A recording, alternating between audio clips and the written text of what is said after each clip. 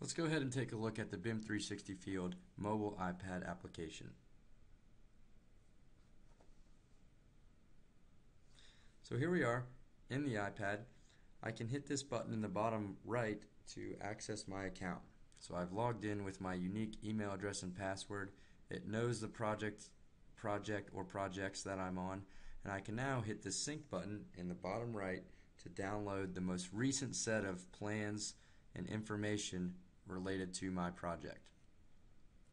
So I've gone ahead and done that here. So I know I'm working from the latest and greatest set of information here um, on my project. I can now hit the Go To button in the bottom left and I can see all the modules that I have available at my fingertips out in the field here on the iPad. The first one we're going to go to today is going to be the library. With the library functionality, we're able to upload the most recent set of plans and specifications for our project. So right here on your at your fingertips, you'll have the latest set of documents uh, to help you get the job done.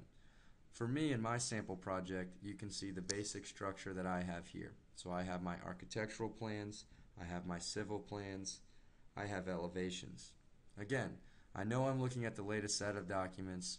Um, I can go in, view any of these documents um, right there in the field um, without having to, to walk back and forth between the trailer or the field office.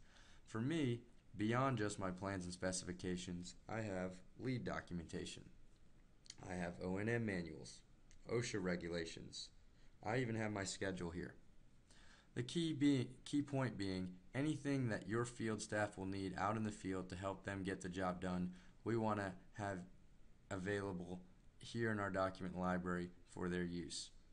So I can go ahead and hit architectural for example and I can click on any one of these plans and it'll flip right open and give me some pretty good clarity here.